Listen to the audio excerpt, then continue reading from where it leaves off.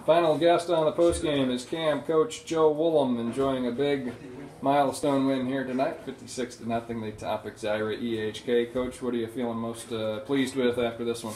I, I thought our defense played lights out all night. Um, created several turnovers, um, kept them out of the end zone, had a shutout, eight-man football, and shut out a very good team like this. Uh, so I'm very proud of our defense and what our guys did. Well, uh, like you said, offensively and defensively executing. And now, you before the game, you told us biggest priority was get to five and zero. You're here. What's the next biggest priority?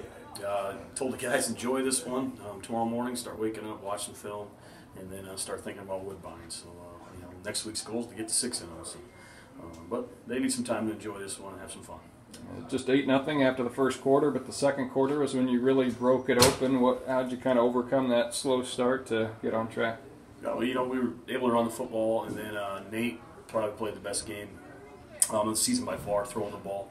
Very efficient, very accurate tonight. Uh, really proud of Nate and the way he stepped up from a week ago. Um, that really opened up our run game a little bit. You know, they, they put some pressure on us, and we finally decided to throw it, and that really helped us and softened him up a little bit, and we were able to run the ball a little bit better after we had some success through the air. Who are some of the guys you thought really stood out in leading your defense? I mean, anytime you get a shutout, that ought to be celebrated. So how were you able to accomplish that? I love the D lineman, the, the pass rush number one. We didn't blitz a whole ton, a whole lot tonight, and then their pass rush and push up front, and then they got they got their hands on a lot of balls too, deflected a lot of passes.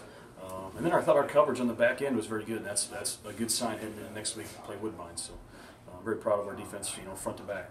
Yeah, Woodbine they put up about seven, eight touchdown passes a game, uh, and they were um, in a high-scoring one with Glidden Ralston tonight. So give us a little glimpse into what's to come in Week Six for you.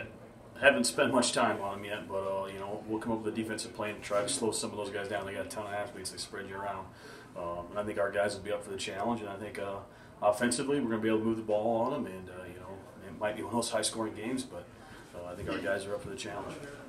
Thanks, Coach. You bet. Thank you.